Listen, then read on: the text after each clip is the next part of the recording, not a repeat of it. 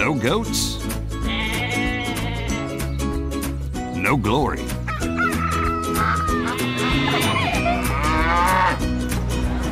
Enjoy the Great Utah State Fair September 5th through the 15th.